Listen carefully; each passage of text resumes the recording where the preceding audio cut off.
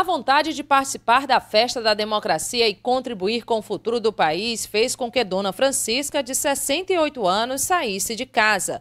Por lei, o voto não é obrigatório para menores de idade e pessoas acima dos 60 anos no Brasil. Mas a aposentada sabe a importância do dia. Ainda com problema na perna que quebrei, mas estou ótima e muito, muito esperançosa. Faço questão de vir votar. Meu Deus, se eu não viesse, eu ficaria muito triste. Exercer minha cidadania. E se a dona Francisca já tem experiência em votar, a Alex veio contribuir pela primeira vez com as eleições. Com 18 anos, a estudante aguardou ansiosa para exercer a cidadania. Fiz questão de vir para exercer o meu direito como cidadã e ver se muda o país agora primeiro turno em Picos foi marcado por longas filas e urnas que apresentaram problemas e tiveram que ser substituídas. Em uma sessão na nona Gerência Regional de Saúde, no bairro Ipueiras, os eleitores tiveram que esperar quase duas horas por problemas em uma urna eletrônica. Uma hora e meia de atraso. Acho um descaso com a gente, né? Que a gente cumpre o nosso dever. Aí precisava alguém também cumprir os deveres deles, né? Fazer a sua parte. Segundo o Tribunal Regional Eleitoral do Piauí, o município de Picos é o terceiro colégio eleitoral do estado, ficando atrás apenas da capital Teresina e da cidade de Parnaíba.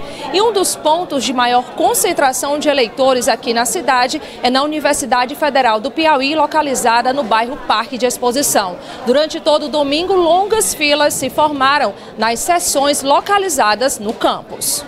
Demorando demais, já tá com hora que eu tô aqui esperando e nada, essa fila aqui tá de rosca. Demorando muito. Juntaram várias sessões em uma só e eu estou a meia hora e dei dois passos. Tá muito, muito lenta. Houve registros de filas muito longas na maioria dos colégios eleitorais do município. Eleitores afirmaram que nunca haviam visto uma demora assim para votar. Quando eu vinha voltar, as últimas vezes, não tinha esse problema. A gente, era pouca gente, né?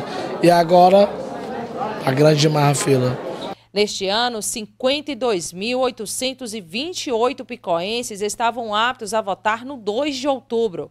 Ainda segundo o TSE, o maior número de eleitores de Picos se concentrou nos grupos mais jovens, de 25 a 29 anos, com 5.543 eleitores, seguido do grupo de 30 a 39 anos, com 10.762 eleitores. Acima de 60 anos, foram 10.139 eleitores aptos a votar, o que equivale a 5,35% do eleitorado picoense.